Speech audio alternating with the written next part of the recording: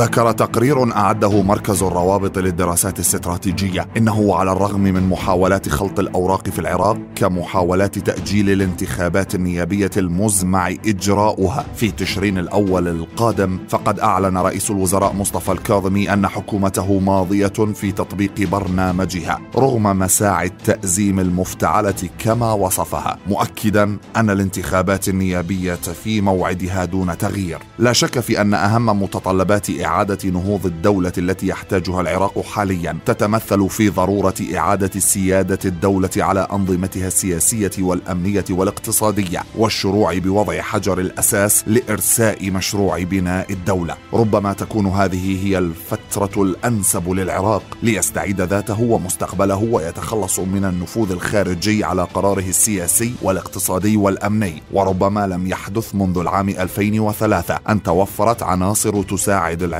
على أن يعيد توجه قاطرته السياسية باتجاه بناء الدولة الوطنية والتخلص من الفساد. الكاظم الذي دعا إلى عقد حوار وطني بعيد مغادرة الباب الأراضي العراقية والعودة إلى بلاده. برر تلك الدعوة بأن العراق أمام فرصة تاريخية لاستعادة دوره في المنطقة والعالم رغم كل العقبات والتحديات. مشددا على أن حكومته متمسكة بإرادة الشعب في تحقيق الأمن والسلام. الكاظمي دعا جميع المختلفين من قوى سياسية وفعاليات شعبية وشبابية احتجاجية ومعارضين للحكومة. دعاهم جميعا إلى طاولة الحوار المسؤول أمام الشعب. وقال ندعو قوانا وأحزابنا السياسية إلى تغليب مصلحة الوطن والابتعاد عن لغة الخطاب المتشنج والتسقيط السياسي إلى التهيئة لإنجاح الانتخابات المبكرة وأكد الكاظمي أن الحكومة تحتاج إلى الوقت الكافي لحماية البلاد وترتيب البيت الوطني مشيرا إلى أن تأزيم الأوضاع لا يصب في مصلحة أحد ولا بد من منح الحكومة الوقت الكافي للبناء وتأمين الانتخابات على أسس رصينة ونزيهة ما يمهد لإخراج كل القوات المقاتلة من أرض العراق ضمن آليات فنية وزمنية متفق عليها مع الحفاظ على أفضل العلاقات مع دول التحالف وبما يضمن سيادة العراق وأمنه.